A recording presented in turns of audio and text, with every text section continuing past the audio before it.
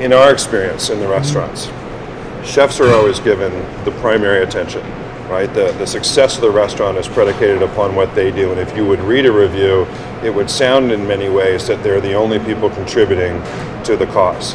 Uh, you and I both know that that's very different. Um, you know, I know how hard you work. I know how intricately you are involved in, in creating the concepts and executing them.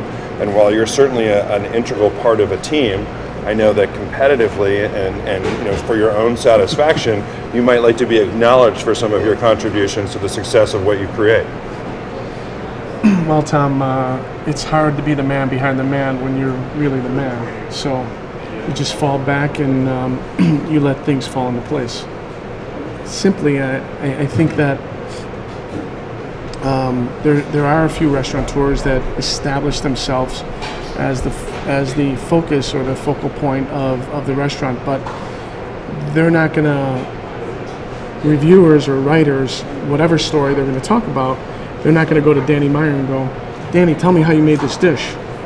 Because right now, I mean, if you pick up a newspaper, it's there's a photograph of a dish, then there's the recipe of the dish, and then the chef's talking about how he came up with the dish or where he found the, the ingredients for the dish or what farmer he's paired with the dish and then that leads to the, the farmer and so the restaurateur is the what do they talk about so the point is that Yeah, it was strictly my idea.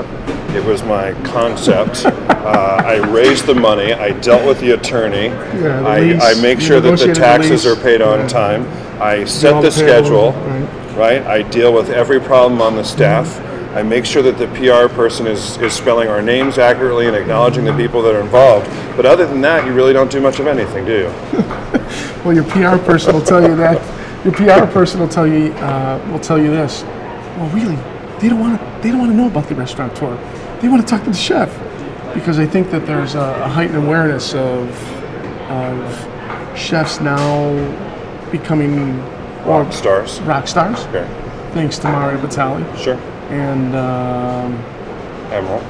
of course Emeril, Bobby Flay. Bobby Flay, Right. Todd English. Todd English, our friend from Ohio, um, uh, Mr. Michael Symon, who I love and right. adore, Jonathan Waxman. But, but let's so let's dig in. So part of the problem, absolutely, though, is that the people who are reviewing the restaurants, while they have these English literature degrees and sociology degrees and write clever prose, actually know dick about the business in many cases, right? Perhaps over a period of years of being close to it, they've understood something about it, but in, in many industries, right, in sports, you typically have someone who went to broadcasting school, who sits next to someone who recently played or coached that sport, who can provide intellectual information about what's actually occurring on the field. Well, and would it be engaging if someone from the business actually was giving insight into the way that all this actually happens? I agree with you. I, I go, I look at it this way though. Um, in my earlier comment, um, I think that restaurants are a collaborative of,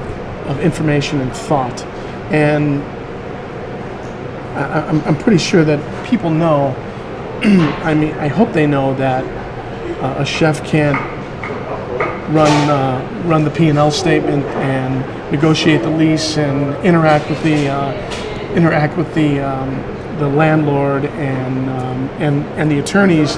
To all the nuts and bolts that you and I talked about many many years ago on how to make a deal and make sure that your your payables, your fixed costs are on point. And then uh, once those are on point, let's talk about the you know reservations, how how people are sat, where they're sat, you know the and beyond that there's all the other nuances that go along with the day-to-day operations food costs labor costs Sure. And, and this is in no way to diminish the role of the chef in the restaurant. I think my point in asking you the question is to acknowledge the considerable contributions of other parts of the team. Right? This is this is a endeavor that takes many many people in order to be successful. But my feeling is certainly there are some chefs who are driving that restaurant, but in many cases there's another person or two or three right who, who are you know it takes a summation of all these people mm-hmm. in order to really make it wonderful you know i'll close Well, with this i'll, I'll close yeah. with this tom this is you know my business partner terry alexander set up mentioned a soundbite in a meeting once that stuck to me and I, I talk about it all the time. No one person is bigger than the whole.